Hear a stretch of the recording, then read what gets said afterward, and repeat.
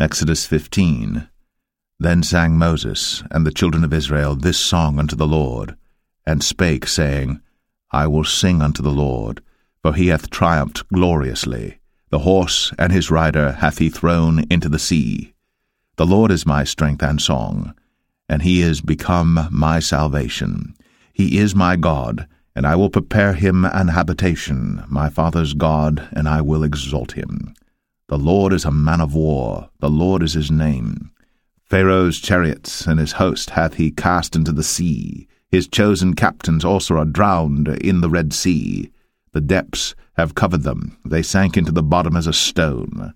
Thy right hand, O Lord, is become glorious in power. Thy right hand, O Lord, hath dashed in pieces the enemy. And in the greatness of thine excellency thou hast overthrown them that rose up against thee. Thou sentest forth thy wrath, which consumed them as stubble. And with the blast of thy nostrils the waters were gathered together. The floods stood upright as an heap, and the depths were congealed in the heart of the sea. The enemy said, I will pursue, I will overtake, I will divide the spoil. My lust shall be satisfied upon them. I will draw my sword, my hand shall destroy them. Thou didst blow with thy wind, the sea covered them. They sank as lead in the mighty waters. Who is like unto thee, O Lord, among the gods? Who is like thee, glorious in holiness, fearful in praises, doing wonders? Thou stretchest out thy right hand, the earth swallowed them. Thou in thy mercy hast led forth the people which thou hast redeemed. Thou hast guided them in thy strength unto thy holy habitation. The people shall hear and be afraid. Sorrow shall take hold on the inhabitants of Palestina. Then the dukes of Edom shall be amazed. The mighty men of Moab, trembling, shall take hold upon them. All the inhabitants of Canaan shall melt away. Fear and dread shall fall upon them. By the greatness of thine arm they shall be as still as a stone, till thy people pass over, O Lord, till the people pass over, which thou hast purchased.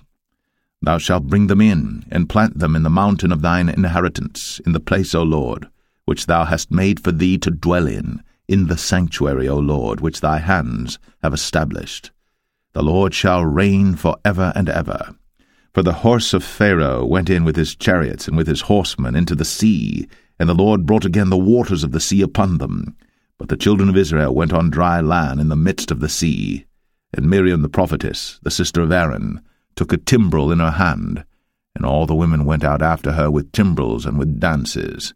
And Miriam answered them, Sing ye to the Lord, for he hath triumphed gloriously. The horse and his rider hath he thrown into the sea. So Moses brought Israel from the Red Sea, and they went out into the wilderness of Shur.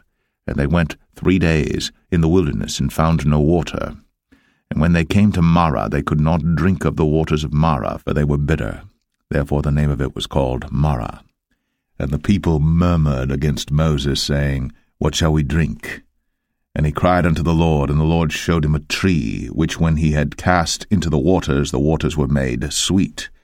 There he made for them a statute and an ordinance, and there he proved them, and said, if thou wilt diligently hearken to the voice of the Lord thy God, and wilt do that which is right in his sight, and wilt give ear to his commandments, and keep all his statutes, I will put none of these diseases upon thee, which I have brought upon the Egyptians, for I am the Lord that healeth thee.